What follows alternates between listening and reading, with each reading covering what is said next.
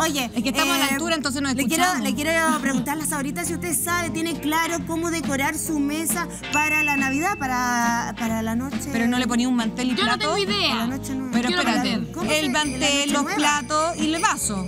No, hay que esmerarse para esta fecha. Sí. Pero ¿y qué? ¿Y de dónde sacó Porque idea? no vaya a poner la mesa como la pone siempre. No, po, uno se tiene que preparar, uno se viste ¿Y de mejor, dónde sacó uno tiene que de decorar cómo mejor hacerlo? la mesa. Porque si va a tener invitados, ¿cómo los vaya a recibir así con el individual normal de todos los días? No, iba a poner man- podía, iba a sacar el individual con el mantel todo mantel. manchado de la cocina. No. No, no podía hacer eso. Es por eso que tenemos a los especialistas el día de hoy para enseñarnos cómo cómo podemos eh, poner la mesa para esta Navidad. Tenemos a Aldo Vega y Rodrigo Jara del blog del decorador.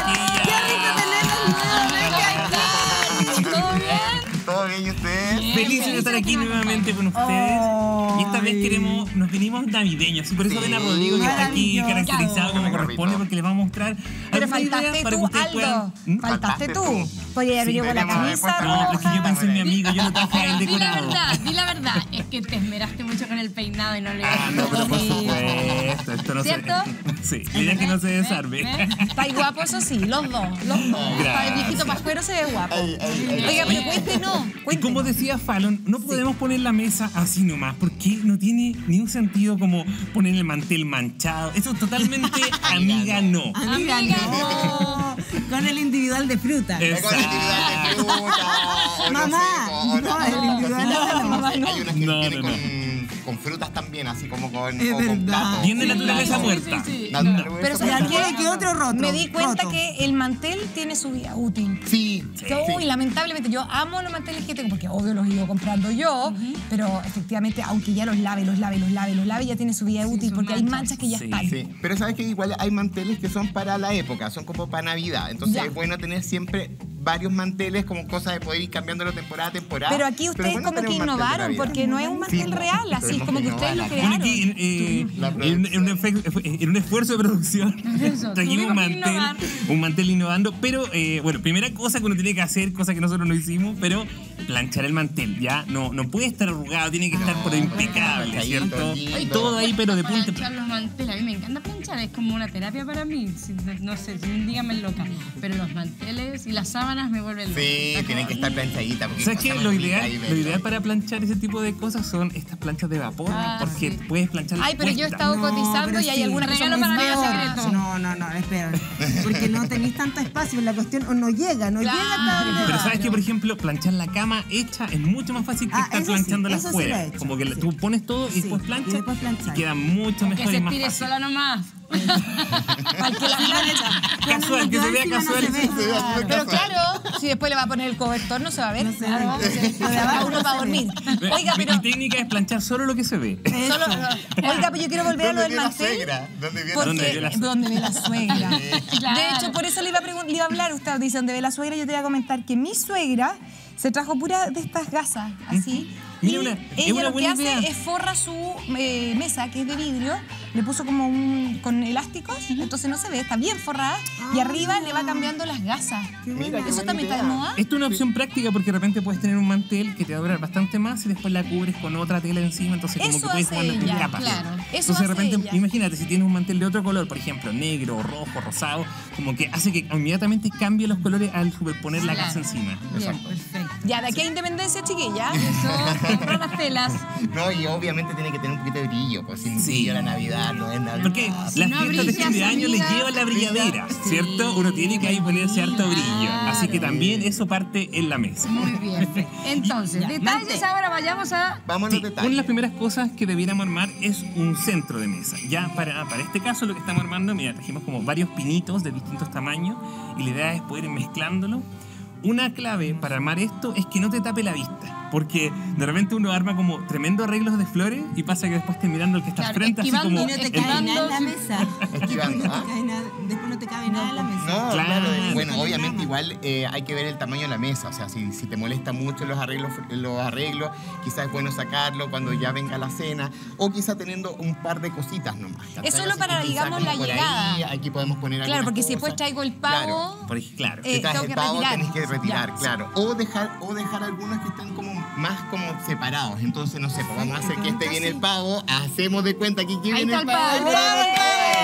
O por ejemplo, si tienes como cosas entre medio, a lo mejor lo que puedes hacer es complementar. Mira, si dejas acá, Ay, qué como con adornos de eso. Navidad, entonces le vas dando. Con los mismos adornos, Con o sea, los le quitáis- un adorno que no se vean al árbol y, ya. lo Y de hecho, estos muchos son adornos reciclados eh, de otras navidades, entonces de repente los podéis reutilizar Ay, o, o pedir prestado de repente a los, a los familiares.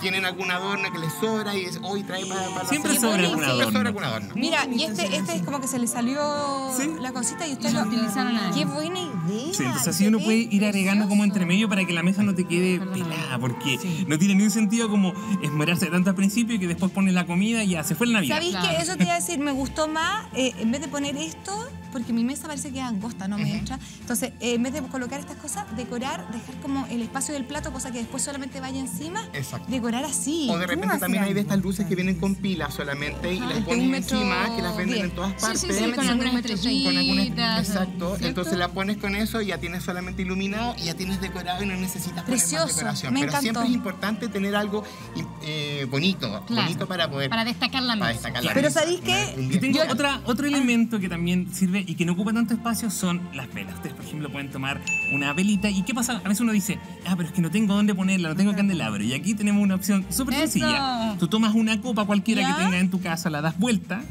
¿Ya? y después con el encendedor por debajo calientas y te queda un candelabro candelabro, ahí buena. de bajo presupuesto. ¡Sacaste aplausos! Y ahí puedes complementar tu mesa con velas. Oye, te pasaste, yo siempre me pasa eso porque no tengo y tenía uno, lo rompieron y de ahí dije nunca más compro porque lo con los ponía en el niños. plato nomás, Sí. un plato chico. exacto Claro. el plato ¿Y de- sabéis qué es lo que me- como que se eleva. ¿Sabéis qué es lo que me gusta a mí? Esto. la servilleta Pero le voy a pedir un favor al señor director. A ver. Miren, así es, así es como lo, nos lo presentaron Aldo y Rodrigo. Yo le voy a contar está, cómo yo siempre, yo siempre Ya, la, por porque favor. a mí lo que me encanta es arreglo de la servilleta, pero solamente la sé arreglar de una forma, entonces les quiero pedir otra que me enseñen. Ya, a Mire, ver. señor director, voy a ir a la mesa para que me acompañe. Es súper sencillo lo que voy a mostrar y yo quiero que el Aldo y mis hijos de hecho me ayudan. Yo abro completamente la servilleta, Está viendo bien, ¿eh? la hago ahí, Ajá. la hago ahí. Y ya todos como que ya están aburridos porque siempre las hago de la misma forma. Y empiezo a hacer un abanico, así. Para allá, para acá. Ya. Para allá, para acá. Y... están ahí viendo, me gusta, concentrados. Mira, ni hablamos ni, ni respiramos. estamos demasiado concentrados. No, no, no, Ni siquiera las artistas invitadas pasan volando. ¿Qué va a hacer? Claro. Y después lo paso por el medio. Mira qué. Mira, cago en una Ahora viene la Jime como... Sí, eso. Ya, yo voy a sacar.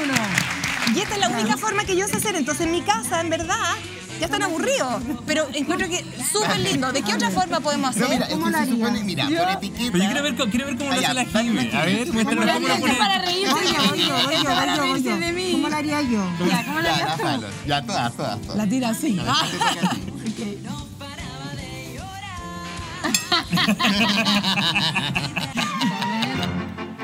Voy, a- voy a innovar, Si ¿eh? al final la van a sacar al tiro y se la van a poner en las piernas. Eso. Pero, la- estamos hablando de la decoración. Pero estamos hablando de la decoración, pues.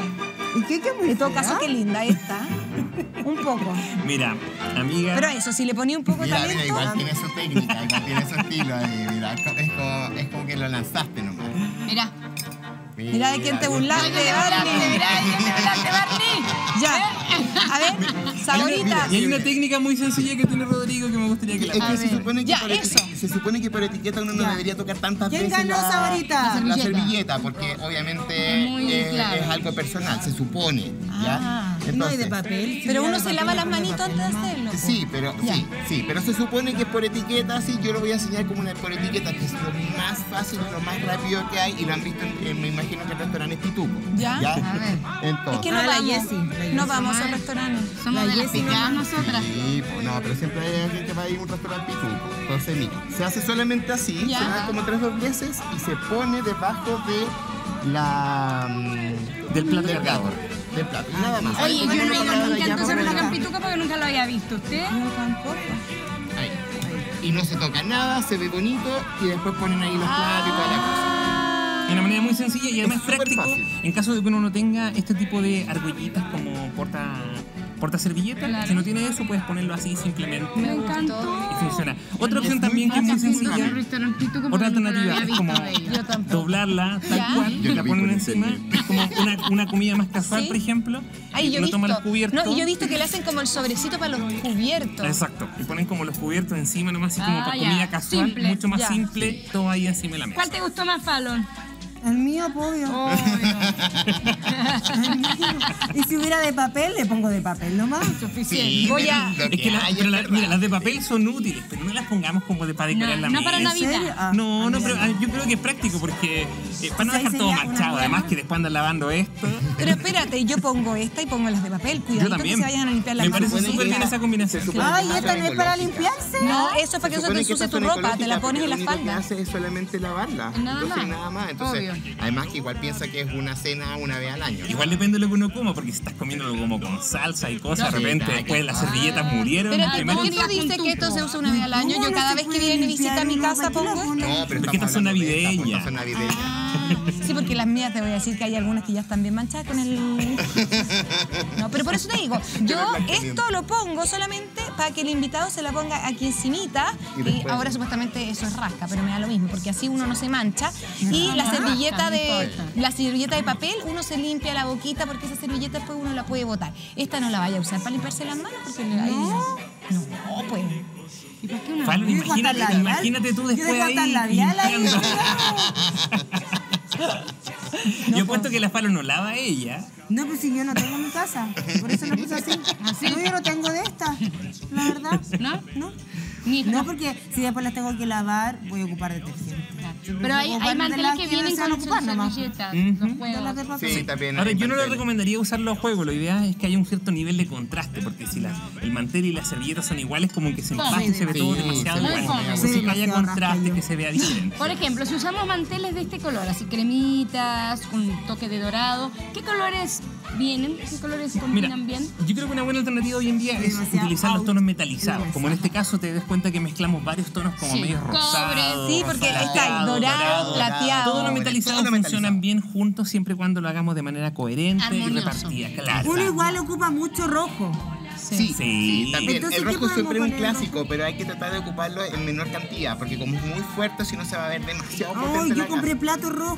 Pero podías poner quizá plato rojo con O sea, plato- no, no, no, o sea, esto- esto rojo. Este es el, el plato base. Ese, la ese, base. ese plato, ya, rojo. Pero el, el platito blanco. Ah, ya. Pregunta poquito siempre tenemos que tener. Mi mamá, siempre, todos los días. O el negro no, su casa. un transparente tampoco. Eh, amiga. amiga, no. Perdóname, perdóname, pero eso fue, amiga. No. no. Anda a cambiar el tengo plato. pregunta Amiga, Mira, los platos blancos son algo que combinan con. Paul, anda a cambiar el plato. Blanco Anda clásico. para allá. Paul, partiste. Oiga, pero todo. Tengo pregunta, porque resulta que ustedes dicen este plato base. Yo siempre se lo critico a mi mamá porque cada vez que voy a comer, y desde que soy chica, desde el día uno me acuerdo sentar y yo decía, pero ¿para qué pone el plato base si hay que poner el otro plato? Y más encima me mandaba a mí. Jessy, pon la mesa. Y yo ponía la mesa con el plato que íbamos a comer, pero me decía, no, pues falta. Y aparte había que poner el mantel, después había que poner el plato base, después el plato. ¿Para qué el Es que el plato, plato base base? te sirve como para poder eh, identificar cuál es el puesto, porque si queda solito queda como muy fome. Entonces lo Además que hace el plato base es contener el plato.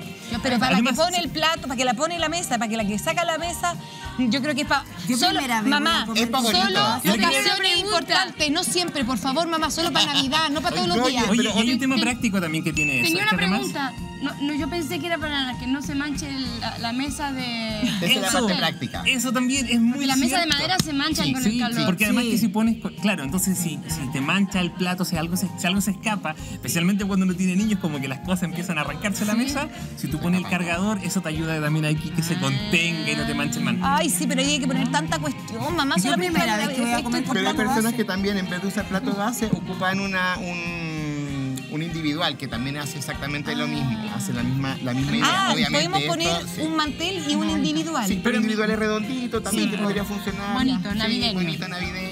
Si usted no quiere usar lo de base porque ya conoce lo de base. Estamos dando todas las ideas aquí, había y fuera. Ya de. dices tú. Oye, y yo quería, mira, quería darle un tip que es muy bueno cuando uno tiene invitado a Navidad porque es como el momento para reencontrarse con la familia, especialmente después de todo lo que hemos pasado. Sí. Es como el momento de poder invitar gente a la casa. Entonces, una cosa que le ayuda a dar como un toque súper personalizado es, por ejemplo, dejar una tarjetita. Esto es algo súper sencillo, un pedazo de cartulina doblado por la mitad, donde ustedes pueden anotar el nombre y ustedes de esa manera pueden ir marcando el puesto. Ah. Entonces, así, Ah. cada persona sabe No hay que, no hay que ponerle Cartulina ¿Cartulina publicidad normal o adentro, cartulina española? Anótense. Anótense. anótense. Con, con buenos deseos Es blanca, po. ¿Qué, ¿Qué se, ¿Me dice cartulina normal o española? Es que no sé, pues puede ser como con lo doradita, qué sé yo. La, que- la española es que tiene color por los dos lados, sí. Ah, usted es por la manualidad de los niños que sabe esas cosas. Diga la verdad. Pero te digo, no sé, pues a lo mejor puede ser otro tipo para que tenga, no sé, Podría tener textura dorados. también, podría tener quizá alguna, hay unas cartolinas eh, negras con un toque dorado, también podría funcionar. Porque hay lápices que son Hay dorados. lápices Hay dorados, lápices sí. dorados. Yo me compré eso para escribir los regalos de Navidad. Feliz Y Navidad. son con maravillosos, claro. Claro, viste, como que, mira, pero a veces uno se complica demasiado y como que, y a veces basta con algo muy sencillo que uno puede hacer con la mano. Pero te voy a decir algo. bien mi nombre. Algo. Te voy a decir algo. Es que yo te veía en rojo, siempre había escrito tu nombre. Bien Opción clarito. tres, opción tres. Opción tres. Algo te voy a decir, te voy a decir algo. Te voy a decir algo. Lo que acabas de hacer, eso en mi casa generaría un conflicto y va a generarte el conflicto aquí. ¿Por qué dice María Jimena y no dice Faro, no dice Porque Yes? yo tengo opción 3. Usted tiene opción. Entonces debería ser la tercera. Ya, ya, Vamos a pues, opción uno y debería opción ser la dos, tercera que escribe. Mis hijos me dirían eso. Mamá, ¿y por qué le pusiste a él eso? ¿Por qué le pusiste al otro en el corazón? Mamá, ¿por qué le ¿Por hiciste qué le pusiste eso? No, pero Es que lo haces todo igual. todo entonces. igual. Sí, todo igual. ¿A usted le han puesto aquí un papelito que diga opción tanto? No. No. ¿Ves? Yo me sentía así como. Oye, otra cosa importante es cómo poner los cubiertos. Ah, ya. siempre vamos a, utilizar cubiertos. Mi hermano dice que yo no sé poner los cubiertos porque yo pongo los cubiertos. Ahora, ¿sabes qué hago? Pongo el tenedor y el cuchillo juntos. Porque le digo, los vaya a usar. Porque siempre me dicen que el tenedor va a un lado y el cuchillo al otro. Y al final nunca me acuerdo Tenedor izquierda. Sí, tenedor izquierda. Y de- y siempre se come de afuera hacia adentro. Sí, y tenedor, ¿Tenedor y cuchara izquierda? siempre van juntas.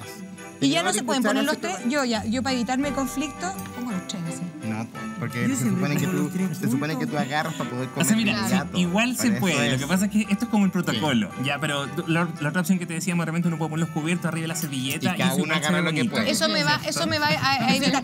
Pero ponte tú, cuando tenés que poner los dos tenedores y los dos cuchillos. Mira, yo creo que es práctico de ya- repente a veces, a veces simplificarlo, sobre todo, no sé, si, si viene a lo mejor la familia del campo que, que nunca está en un restaurante y como que no, quieres, no quieres complicarlo, a lo mejor como listo, ¿sabes qué? Hagámoslo sencillo. Los no tan cuicos. Los no tan cuicos no se van a dar cuenta, así que los vamos a poner todo para un lado. ¿no? Todos O sea, juntos. igual- No vas a ver. Y que elija. Y que elija. No es que igual la cena de Navidad es una cena que uno trata de hacerla especial, o sea, distinta a las otras veces que uno. Sí, está pues uno quiere ponerle jolgorio. Claro, le quiere poner Sí. color, quiere poner. Ya, pero espérame, entonces- lucirse uno como Claro. anfitrión. Este, en la derecha va el cuchillo Entonces, y la, la derecha cuchara. del cuchillo siempre va el cuchillo y la cuchara. ¿Y Y, en el cuchillo siempre va con el filo hacia adentro, porque no queremos que haya un accidente. Entonces, siempre el cuchillo hacia adentro. ¿Y primero el cuchillo o la cuchara? Primero el cuchillo y después la cuchara más afuera. Porque primero siempre se comen las sopas y Claro. después se comen las. ¿Cómo puedo, hacer, hacia adentro. ¿Cómo puedo hacer para que no se me vuelva a olvidar si sé que me lo han explicado 500 veces? Piensa, mira, piensa, cómo cómo, vas a cortas. agarrar, cómo Es que sí, el otro día le dije a mi hermano, me recuerdo de mi defensa. Le dije, ¿cómo con el tenedor y cómo con la derecha? Así Pero- que, ¿cómo lo voy a poner a la izquierda? Y me quedo mirando y me dijo, Pero cómo No. cortas. Es que esto es en general. También pasa, por ejemplo, para los zurdos, que también debería ser al revés. Pero es que estamos hablando Esto como es una regla general. general. Ya que usted sabe tanto para que aprendamos estas, estas cosas bien. eh, yo me quiero Estoy empitucar. sorprendida. Yo me quiero empitucar. Estoy porque, demasiado claro, out. Una corta así. Sí. ¿No? ¿ya? ¿Qué es lo correcto? ¿Comer así o dejar el cuchillo y pasarlo a la Ah, pero le derecha? pusiste Ah, pero color. se. Eso, eso ya. Ah, Soy friki, pero son cosas YouTube. Qué bo- es mucha Mira, lo correcto es no tener que andar cambiando de mano. Lo correcto es no tener. Entonces así. Mm, Listo. sí. Sí, porque ya es mucho, mucho. Ahora la uno boca come cerrada como con la boca quiere, uno come como quiere, sí, pero eso es como el protocolo. Pero siempre con la boca cerrada. Sí. Ya, ahora tengo otra pregunta. Los vasos. Ya, siempre es bueno tener dos vasos. Sí. ¿Por qué? Porque uno es para los licores y otro es para el agua. Porque sirve para el agua, porque si te estáis tomando demasiado, tenés que bajar un poco el... Diluir. parece- Aquí, aquí yo tengo la pregunta, porque una amiga nos mandó unos vasos amarillos que los quería comprar y yo me dice, ¿cuál me compro los, los grandes o los chicos? Y yo digo, cómprate el grande, pero yo que tú me compraría los dos, porque en el grande, y ahí todas me comieron, porque en el grande pones el agua y en el chico el vino. Al revés. Y todas me comieron, porque ¿cómo? Pero yo le digo, pero claro, pues ¿cómo? Si te vaya a ir al litro, mejor... Si te vas a ir al litro. Menudito. Y, y al final es como que, obvio, en el grande, obvio que voy a poner el agua para poder hidratarme más, y en el chico el vino. Y todas me dijeron, no, pues qué Al guasa. revés, pues si tenés que tomar, pues si esto es para tomar. Si vamos a tomar, Vamos a tomar, vamos a tomar, con confianza, No, eh, claro. amiga, no. ¿Sal de ahí? Amiga, no. Amiga, sal de ahí.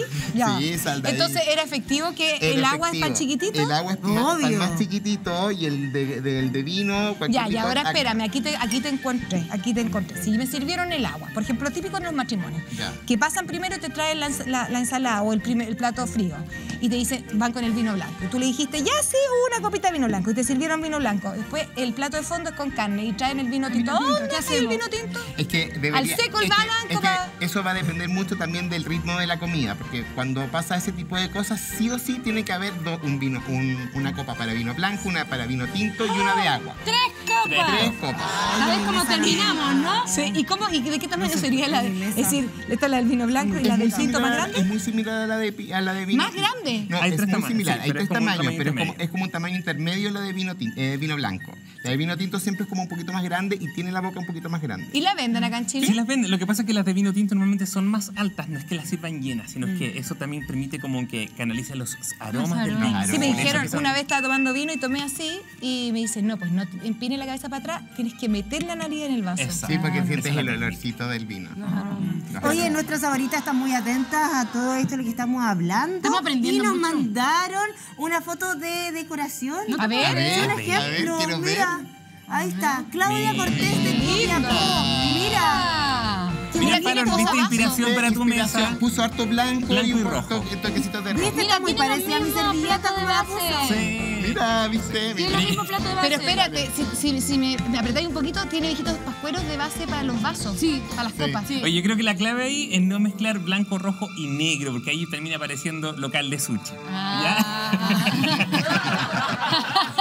Muy amiga, no. Blanco y rojo. Ya, Pero si entonces quieres, danos, si danos quieres una puedes idea. poner algún algo de verde. Por ejemplo, a ese yo le hubiese puesto algún adornito de verde Eso te iba en el decir. centro. Si alguien tiene Ya. cosas ya rojas, ya sea el mantel, sea las copas, sea los platos, sea lo que sea, Sí. ya tiene algo rojo, para que no se vea tan sobrecargado, lo combinamos con Verde puede ser. Y cosas do- y dorado. Claro, y mira, Sí. y otra cosa es también el tema de jugar con los matices. Por ejemplo, el típico verde como de pino, que es súper encendido, pero también, por ejemplo, como ju- jugar con un rojo y un verde, pero con un verde mucho más sutil, ¿cierto? Como lo que pasa con estas servilletas, que no son como súper prendidos, sino que es como más suave el verde. Pero es que. ¿sabes qué me pasa, Aldo? Yo lo hubiera visto, por ejemplo, en la tienda, esta servilleta, yo hubiera pasado así. No, ni siquiera me hubiera atención. porque no me llama la atención, pero aquí puesta se ve maravilloso. Es que, ¿sabes por Lo que pasa qué? es que uno tiene que tener Sí. ojo. Ay, pero porque lo hizo ella. Y la mía también se ve maravillosa. Uy, yo también hice lo mío.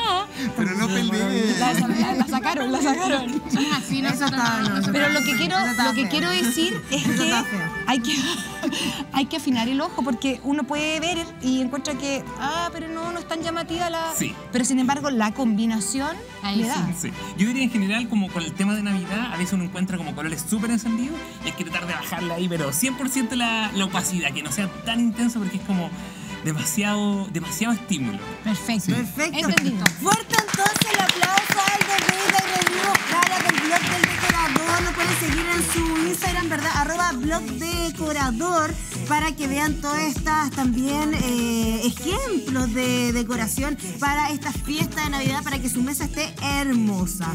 Muchas gracias. Muchas gracias. Nos. Ay, para que vengan de nuevo para para el año nuevo. Para el nuevo. Eso, ya, la otra semana. La otra semana de nuevo aquí para que nos vengan a enseñar cómo decorar para el año nuevo. Maravilloso, muchas gracias por tener la Gracias, Y nosotros nos separamos, pero en breve vamos a